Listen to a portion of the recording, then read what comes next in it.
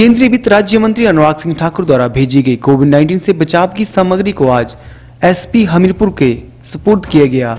आज हमीरपुर जिला भाजपा महामंत्री अभयवीर सिंह लवली ने एसपी हमीरपुर कार्तिक गोकुल चंद्रेन को ये सामान सौंपा। इस सामग्री में PPE kit, hand sanitiser, mask तथा अन्य प्रकार के सामग्री है। इस मौके पर जिला भाजपा महामंत्री अभयवीर सिंह लवली ने बताया कि इस सामग्री को पुलिस विभाग को सौंपा गया है, क्योंकि पुलिस कर्मचारी फ्रंटलाइन वर्कर हैं, इसलिए उन्हें कोविड 19 से बचाव के लिए ये सामग्री बेहद ही ज़रूरी है। इस अवसर पर एसपी हमीरपुर कार्तिकेन गोकुल चंदेन ने केंद्रीय वित्त राज्य मंत्री अनुराग सिंह ठाकुर का भी आभार व्यक्त किया है। ये जो सामग्री है तो मैं सबसे पहले तो हमारे आदरणीय member of parliament Anurag ji को बहुत बहुत धन्यवाद कहना चाहता हूँ। ये तो जो सामग्री है, हमारे पुलिस डिपार्टमेंट के लिए और पुलिस विभाग के कर्मचारियों के लिए काफ़ी मदददायक होगा। ये जो हमारे फ्रंटलाइन वर्कर्स हैं बाहर जाते हैं तो इसका डेफिनेटली प्रयोग होगा।